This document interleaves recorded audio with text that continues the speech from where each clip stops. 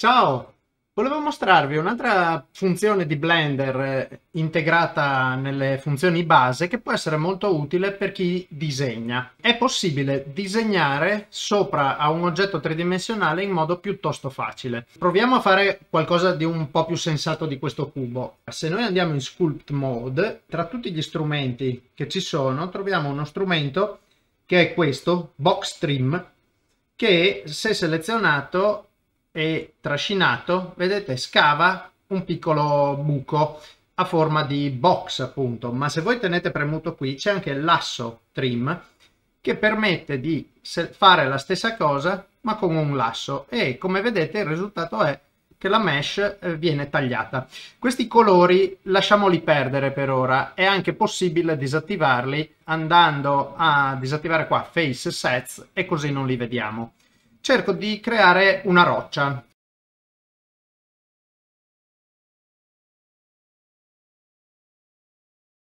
Torno in Object Mode e adesso se premete maiuscolo Z potete vedere le facce di cui è fatto, che sono tante e sono strane. Un modo per ridurle è usare un modifier che si chiama Decimate, che serve a ridurre il numero di facce.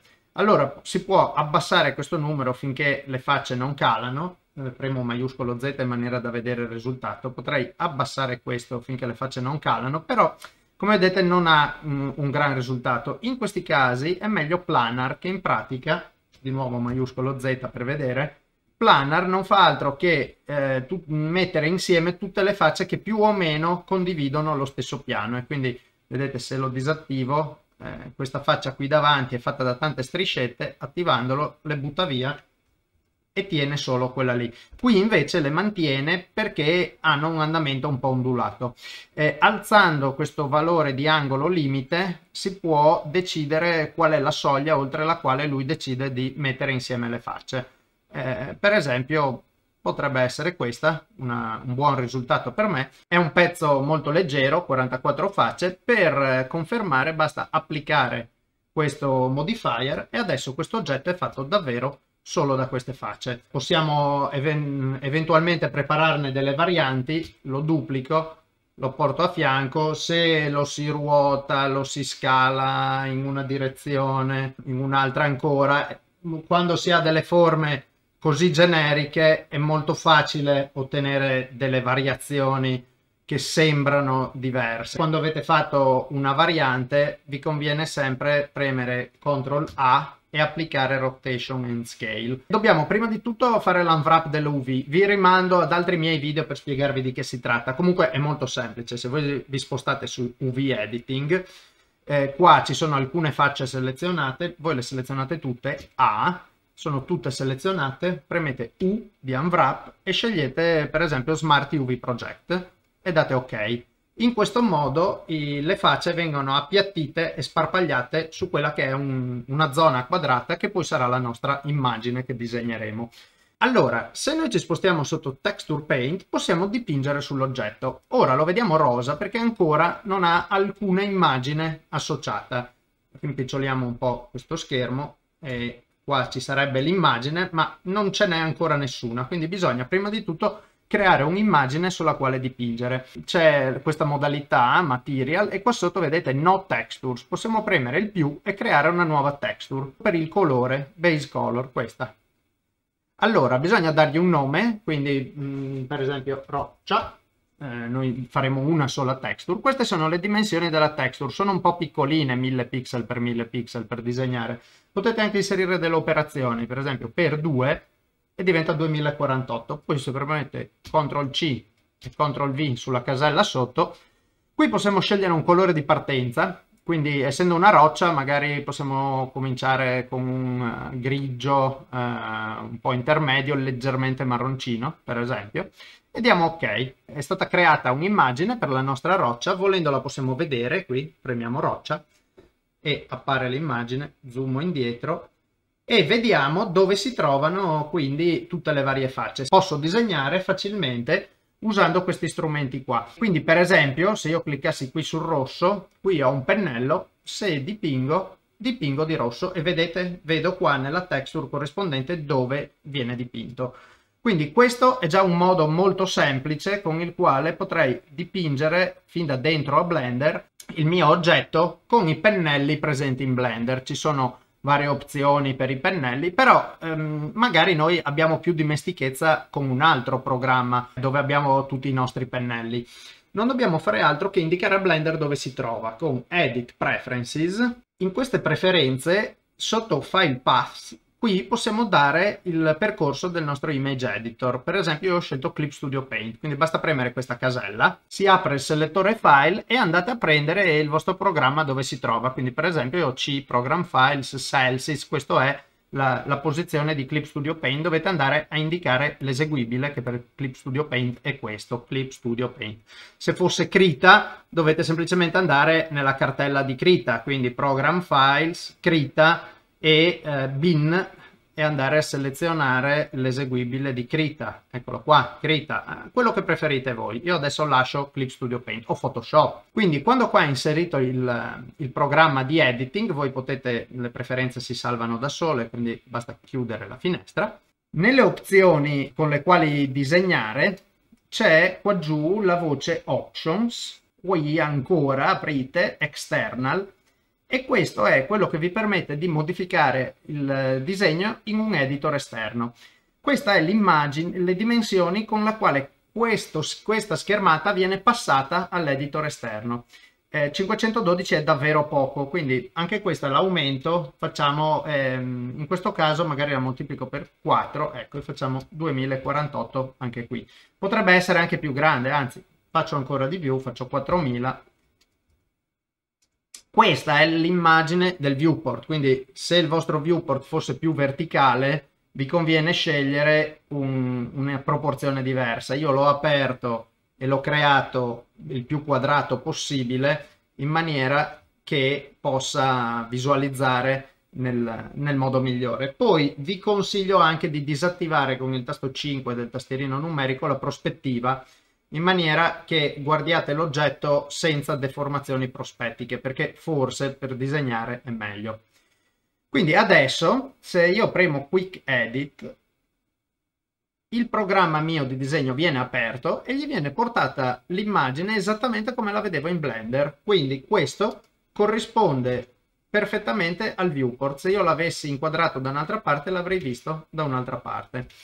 Quindi adesso io qui posso disegnare. Eh, ovviamente ricordatevi che questo che, con, che è qui mh, mm, è già illuminato da Blender, per cui il vostro disegno è meglio che stia su un nuovo livello eh, dove magari, per esempio, prima di tutto riempite tutto di bianco per poter disegnare. Se poi volete vedere lo stesso, magari spostate il livello sopra, abbassate un po' l'opacità. In questo modo posso facilmente richiamare oppure nascondere la roccia originale per poterla vedere, no?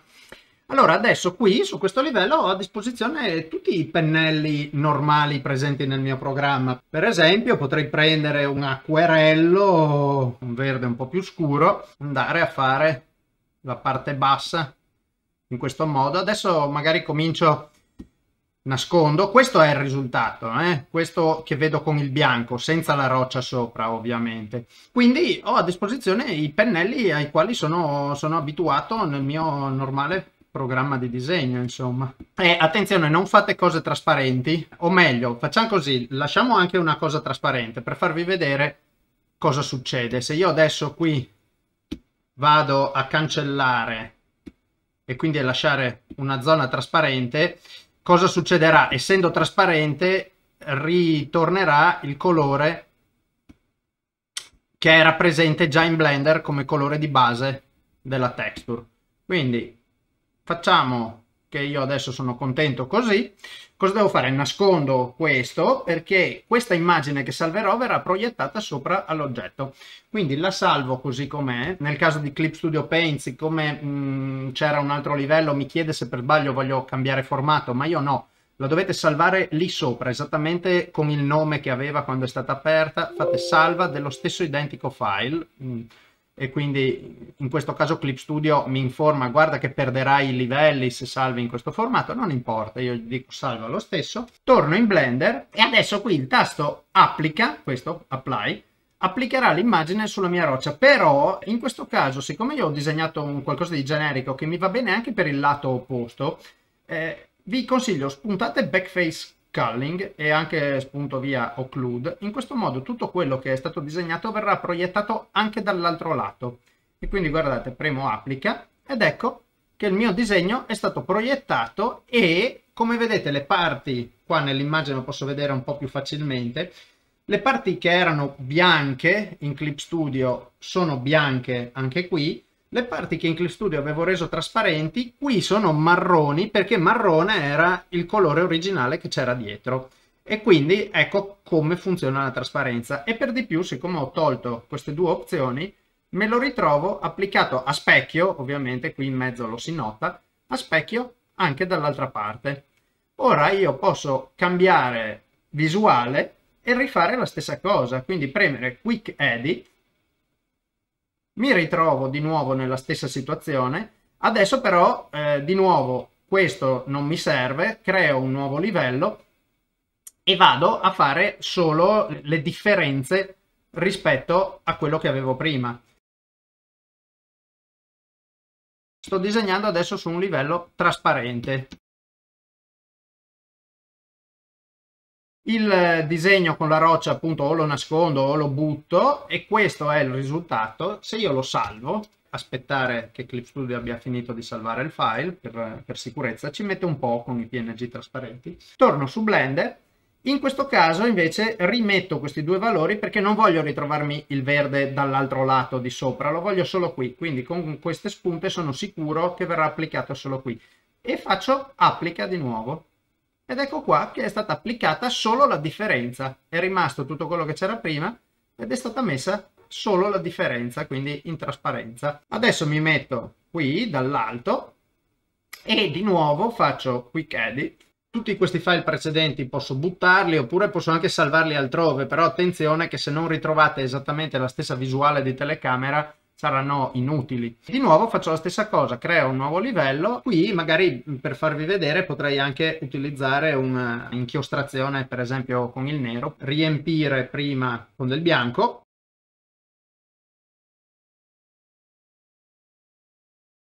E ora con la penna, con un nero, a disegnare, devo prendere uno spessore un po' più grosso. Stile inchiostro per farvi vedere che può funzionare con varie tecniche, che non è obbligatorio cercare di essere né realistici né pittorici. Nascondo il livello precedente, faccio un salva, torno in Blender, applica ed ecco che ho la parte disegnata. Notate come si è strecciato per esempio da questo lato questi tratteggi, perché io li ho disegnati da qui.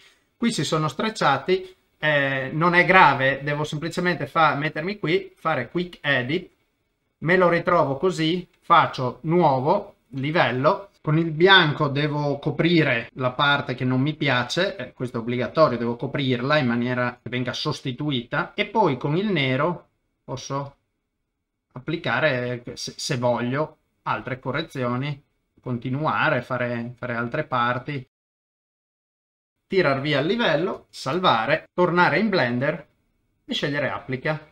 Ed ecco qua. Continuando a lavorare così, noi vediamo la scena illuminata da una certa luce generica che è quella di questa visualizzazione o di questa con il material preview che comunque vi consiglio perché è più eh, invece di stare in questa visualizzazione se vi mettete in questa è, una situazione più neutra, diciamo, però lo stesso abbiamo delle, delle, luci e delle ombre, quindi dovete tenerne conto quando pescate il colore. Vedete, io ho riempito di bianco, ma non era davvero bianco e quindi il risultato è che noto un po' la pezza. Se volete essere sicuri, in questa visualizzazione potete scegliere flat e in questo modo quello che vedete è solo ed esclusivamente la texture. Invece di studio, che è il default, e volendo potete anche provare a cambiare qua il tipo di illuminazione, potete mettervi sotto flat eh, e scegliete texture. In questo modo quello che vedete è esattamente il colore finale. Qual è il problema? Che guardate il sasso a fianco, si, essendo piatto non vediamo proprio nessuna tridimensionalità, quindi vi consiglio di farlo solo dopo quando avete già dato un po' di forma e riuscite a capire quello che fate. Quindi adesso di nuovo per esempio Quick Edit, come vedete ogni volta apre un file nuovo, questi qui sono ancora qui e potete usarli o buttarli. Nuovo livello, questo lo metto di sopra, basso e lo nascondo e su questo livello vado a disegnare ancora qualcosina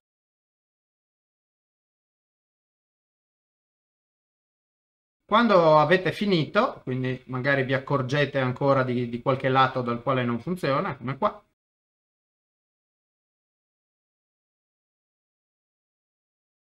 Adesso in pratica abbiamo disegnato sulla texture con i pennelli a disposizione in un altro programma che può essere molto più semplice rispetto a ricrearsi in Blender tutta la propria situazione. Chiaramente è solo colore dell'oggetto, i, dovremmo spostarci sotto shading eventualmente per definire eh, altre caratteristiche, un materiale dato anche da altre caratteristiche oltre che dal colore. E questa non funziona perché ha delle UV diverse. In questo caso la butto e posso duplicare questa e ovviamente in questo caso siccome è già dipinta non posso mh, modificarla troppo senza che si, che si noti, insomma, perché eh, se ho deciso di metterci l'erbetta sotto, per esempio, non è che posso ruotarla più di tanto. Oppure in, eh, ricordatevi che in Sculpt Mode eh, c'è l'Elastic Deform oppure Grab. Se prendete un pennello abbastanza grande, si può andare a deformare le facce che ci sono già quindi mh, senza modificare le UV né niente, in questo modo vado a modificare quello che c'è già. Adesso questa è un'altra roccia, faccio un applica rotation and scale. Ecco. Vi mostro un uso più avanzato di questa cosa. Creo un piano, lo ingrandisco, facciamo così, poi vado in edit mode, seleziono questa faccia, la estrudo verso l'alto, metto la mia telecamera qui, CTRL ALT 0 per posizionare la telecamera, N, View, Camera to View per poter spostare la telecamera. Torno qui, lo allargo fino a riempire tutta la scena e in Edit Mode di nuovo prendo CTRL B e arrotondo un po', aggiungo qualche faccia. Faccio anche qua shade smooth in maniera che non, che non veda questo taglio. UV editing, selezionare tutto, U Smart UV Project, ok, in maniera che crei le UV di questo oggetto. E di nuovo anche qui vado su Texture Paint, mi sposto con lo 0 nella visuale della telecamera, magari ingrandisco un po' in maniera da riempire meglio lo schermo. Questo oggetto adesso, come prima, lui non ha il suo materiale, dobbiamo fare la stessa cosa che abbiamo fatto prima, più base color, e magari questo lo chiamo fondo. Potrei voler usare una texture più grossa, in questo caso, faccio CTRL C, CTRL V, colore di base bianco, do ok, ed ecco che adesso ho il colore bianco di fondo, e posso fare la stessa cosa tra le proprietà del materiale. E sposto roughness al minimo per questo oggetto. Ecco, non riesco a vedere i riflessi perché bisogna attivarli qui sotto screen space reflections. E in questo modo adesso vedete che c'è un piccolo riflesso. Se alzo metallic riesco a vederlo ancora di più. Perché? Perché volevo vedere i riflessi delle rocce nel momento in cui andrò a disegnare. Quindi adesso torno sotto texture paint sono in questa modalità, ho un'idea più o meno di come è fatto l'oggetto, posso tornare a fare la stessa cosa, external, quick edit. Adesso quello che ho ricevuto qui eh, riguarderà il fondo, creo un nuovo livello, lo metto sotto, lo riempio bianco, questo qui come al solito lo metto un pochino in trasparenza e su questo livello qua sotto Adesso non mi devo preoccupare delle rocce, hanno già il loro materiale e non verranno cambiate da quello che faccio qui adesso.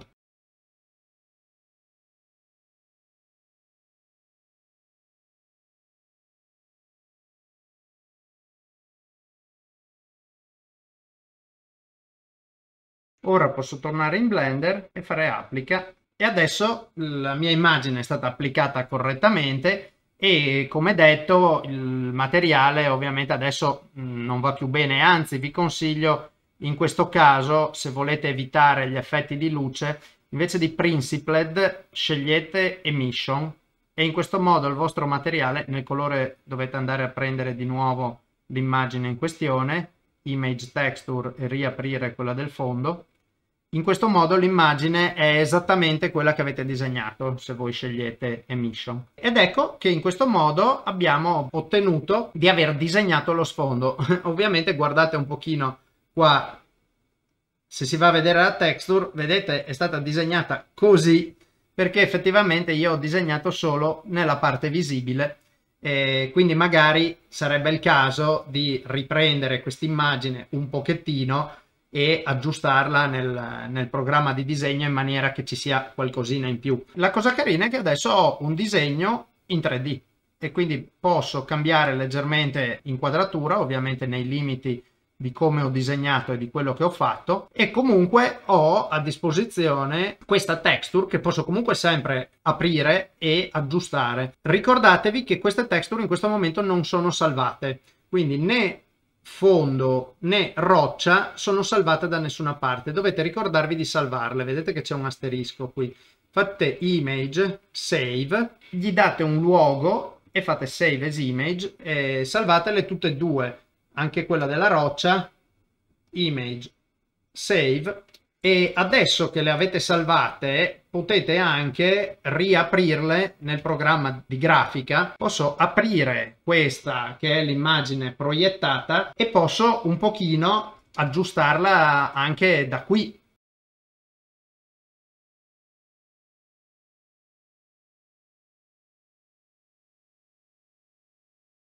La salvo aspetto. Torno in blender. Non devo fare altro che ricaricarla. Image reload viene ricaricata e adesso nella mia scena ho l'immagine modificata anche nel programma esterno. Ripristino un attimo la prospettiva.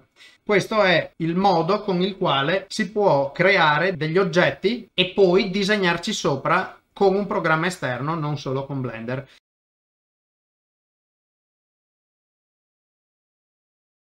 È una funzione simpatica che ha mille usi, anche quello eventualmente di partire da una texture già pronta e di applicarci sopra dei disegnini o di modificarla con il vostro programma insomma, di grafica preferito e dalla proiezione nella quale vedete le cose in questo momento.